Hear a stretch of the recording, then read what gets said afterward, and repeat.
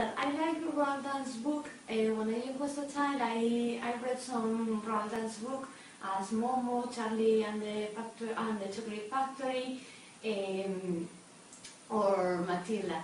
Uh, one day I was looking some English book in, in, on the net when I found this one. At first, I believed that it was uh, uh, it was Dahl, uh, uh, who write who wrote these stories but when I pick up, I, I realized that it was Dahl uh, who selected the, the ghost stories of different, of different writers.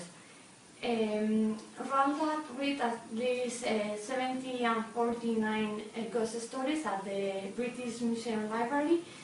Uh, um, the, he selected about 40, about, sorry, 24 because with sorry with the purpose of making a ghost series uh, film, uh, sorry ghost, series, uh, ghost series for television. Finally, the pilot it was a disaster. So.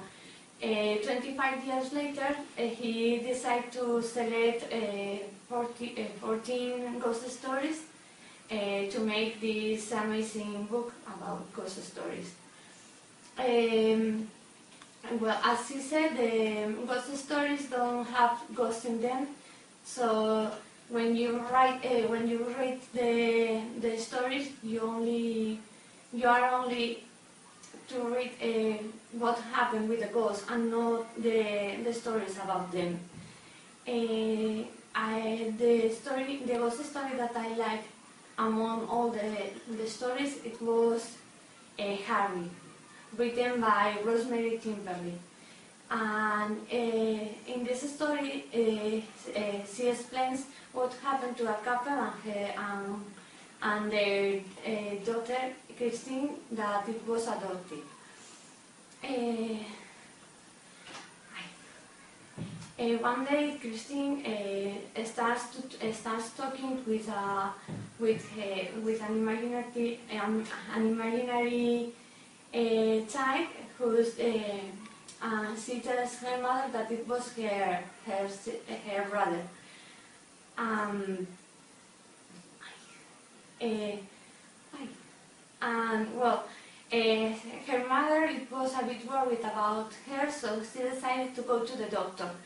Uh, and the doctor explains to her that it was a, it was a well, that it was a problem that has a, a lots of lots of children in, in childhood. That this problem is normal, but uh, in the first day of the school, she decides to go to the adoptive service and to know a bit more about the about her story, and then uh, there they uh, mm, uh, a man, uh, sorry, a woman tell, tells her that uh, Christine uh, is the only survivor of an of an of an accident in which her brother uh, saved her uh, saved her before she before he died.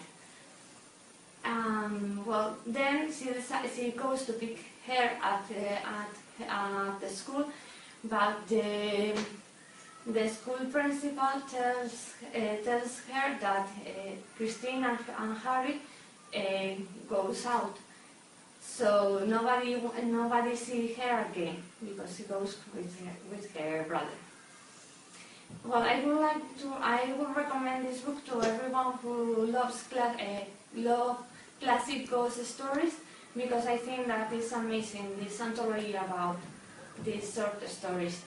And as Roald said, uh, in her, as Roald said in her, in sorry, as Roald wrote in his book, uh, is after all the real purpose of ghost stories.